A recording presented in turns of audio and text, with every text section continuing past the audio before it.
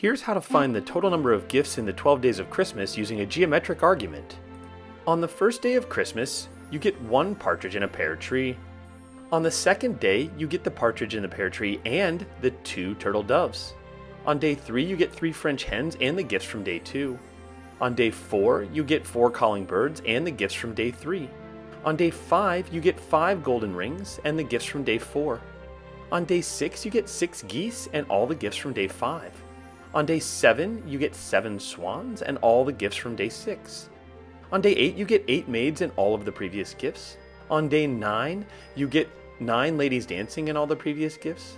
On day 10, you get 10 lords and all of the previous gifts. On day 11, you get 11 pipers piping and all of the previous gifts.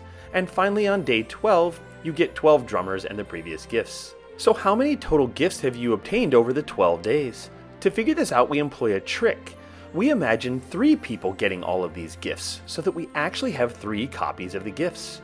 We take the gifts from the second person and glue them together like this with the gifts from the first person. We then form this stack.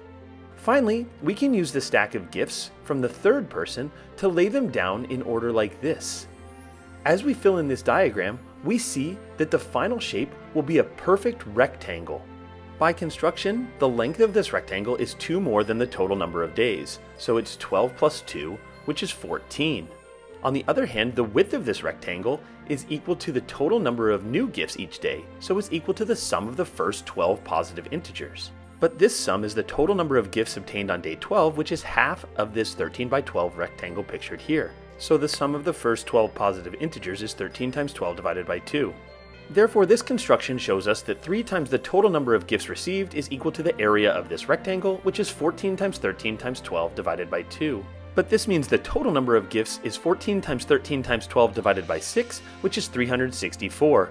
In the song The 12 Days of Christmas, they've given 364 gifts.